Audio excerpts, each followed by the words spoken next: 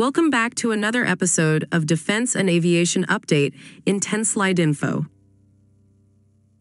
As the Indian Air Force is going to procure almost 180 Tejas Mark 1A fighter jets from HAL, they need to be deployed and utilized in a proper way so that they can get the maximum capability from these jets.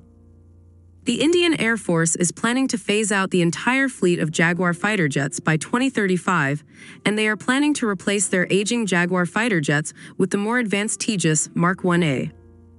The first batch of Tejas Mark 1A is expected to be delivered starting from February 2024, and these jets will gradually replace Jaguars and other aging fighter fleets of the Indian Air Force.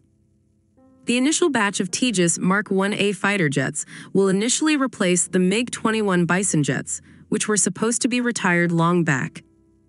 Post the replacement of MiG-21 Bison jets, the next set of Tejas Mark 1A, which would be delivered by HAL, will replace the Jaguar fighter jets in phased manner. Tejas Mark 1A boasts improved avionics, radar, weapons carrying capacity, and overall performance compared to both Jaguar and MiG 21 Bison fighter jets.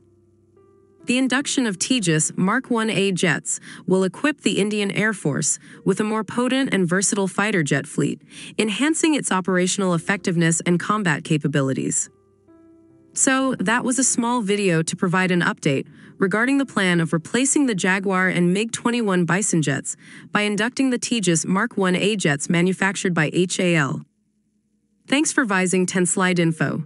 We hope you'll find our videos useful and informative. Stay tuned to our channel for more such updates and analysis on defense and aviation. Thank you.